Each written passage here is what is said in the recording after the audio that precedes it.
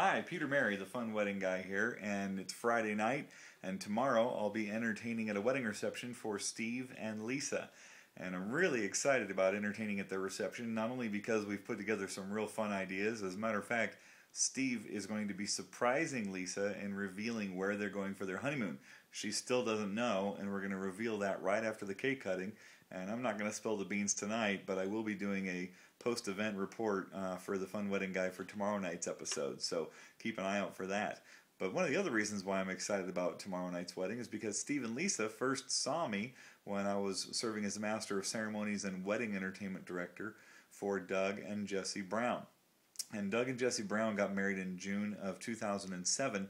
And when I did their wedding, we had a really fun surprise up our sleeves. It was the first time one of my couples had opted to do a choreographed dance routine in the middle of their first dance. So, as their first dance is going along, they were dancing to uh, Elvis Can't Help Falling in Love with You. And the song started to skip and act like something was really wrong. And they both started to look distressed. And then all of a sudden, it switched into a clip from uh, The Love Shack by B 52s. And next thing you know, they were doing a whole series of little choreographed routines, which they had uh, gotten from an idea I suggested from The Evolution of Dance on YouTube, one of the most popular YouTube videos of all time. If you've never seen it, you should do a search for The Evolution of Dance and check that out. It's really an amazing video that shows a, a variety of choreographed moves that can be done to a variety of short song clips.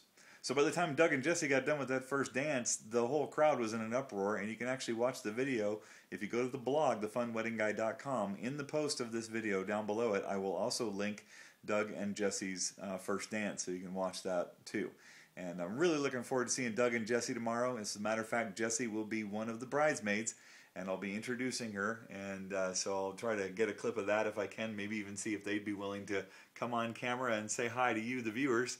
Uh, but the one thing I'm really looking forward to sharing with them is that they have been selected by my publisher to be one of three couples that are featured on the back cover of the Best Wedding Reception Ever coming out in bookstores in October.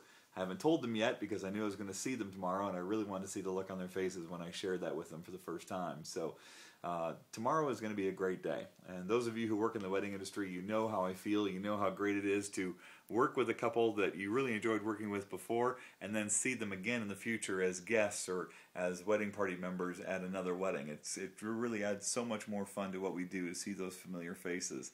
So I know tomorrow's going to be a blast, and I just thought I'd share that little anecdote about what I'm thinking about tonight and why I'm kind of on pins and needles waiting to see how much fun tomorrow is going to be. And uh, so tune in tomorrow night to see my recap and maybe some actual footage from the event itself. It'll be posted kind of late, but I will get it up there for everybody to see. And so be sure to go to the blog, thefunweddingguy.com, to uh, not only finish seeing this video, but to see the clip of Doug and Jesse's first dance from three years ago. I hope you enjoy it. And as usual, feel free to post any comments or questions on our YouTube channel, on the blog, or on our Facebook fan page. My name is Peter Merry, and you've been watching The Fun Wedding Guy.